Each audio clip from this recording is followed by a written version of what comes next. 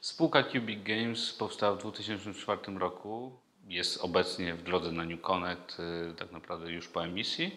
Przez większość lat współpracowaliśmy z firmą Nintendo. Do roku 2012 praktycznie wszystkie produkcje nasze to były produkcje na platformę Nintendo. I najważniejszy produkt Gekiaba Runner. W 2013 roku weszliśmy z tą produkcją na Japonię.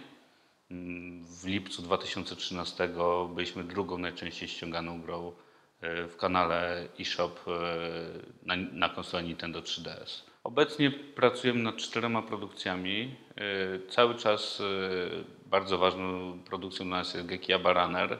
W tym roku jeszcze wejdzie ta gra na konsolę Nintendo 3DS ponownie w wersji Deluxe, ale także na PC i konsolę PlayStation Vita. Y, Drugi nasz produkt, który tak naprawdę jest y, oryginalnie z platformy Nintendo, A-Race Speed, y, w tym roku będzie miał jeszcze debiut na konsoli PlayStation Vita, ale także będzie mm, w modelu free to play na, na platformę iOS Android.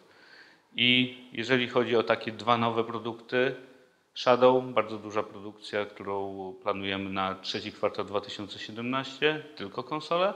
I nasza najważniejsza produkcja Robonauts. W chwili obecnej wchodzimy już e, w fazę kończenia produkcji. E, Gra ba bardzo wysokim stopniu oryginalności, nominowana jeszcze w 2014 jako Best Upcoming Mobile Games. Naszym celem jest zbudowanie tutaj marki globalnej Robonauts, y, od Stanów Zjednoczonych poprzez Europę do Azji. E, Gra, co ważne, nie będzie tylko na jedną platformę, będzie na wiele platform, co jak same Pokémony pokazują przez y, dziesiątki lat, Pokémony były tylko na platformach Nintendo, a w ciągu kilku tygodni stały się naj, najczęściej ściąganą grą na platformie iOS Android.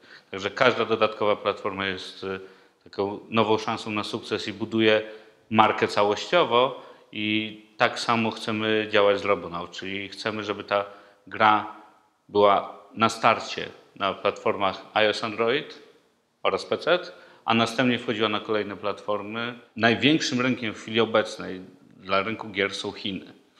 E, My od lat jesteśmy obecni w Azji. Tak naprawdę Gekiaba Runner na platformie iOS Android właśnie 50% ściągalności ma w Azji i przede wszystkim w Chinach. Takim najistotniejszym rynkiem są Stany Zjednoczone, pon- ponieważ one ciągną cały świat. Czyli jak jesteśmy obecni w Stanach, to jesteśmy obecni wszędzie. My już w tej chwili budujemy relacje w Stanach e, takie, żebyśmy mogli tą grę wydać samodzielnie, zarówno na PC, jak i iOS Android.